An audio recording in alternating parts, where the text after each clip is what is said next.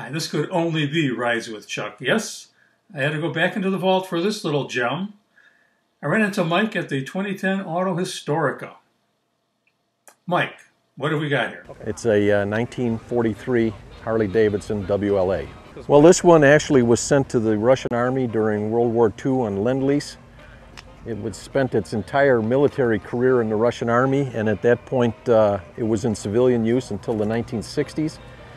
And uh, a gentleman in Boston brought it back from, uh, from Europe, um, where I got it from him, and then ended up restoring it. it is uh, designated as the 8th uh, Air Force military police bike for the uh, 790 or 979th MP um, unit that was attached to Bury St. Edmund Rougham Field in you know, Bury St. Edmund, England. My father was a pilot, flew B-17s. Since I can't afford to um, restore an airplane of that size, I decided to make this for his unit. He was in the 410th Squadron of the 94th Bomb Group. So it took me forever to find a picture of a Harley Davidson assigned to an airfield, but I finally did, so I know they existed. Can you start it? Sure. Go on, you. Sure.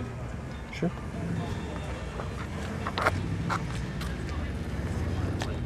Let me catch everything. Well, this is uh, an add-on here. Okay. Okay.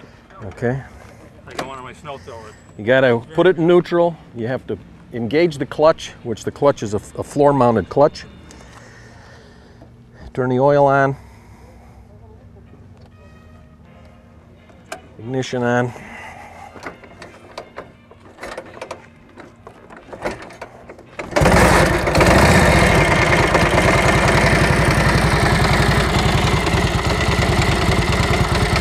Okay.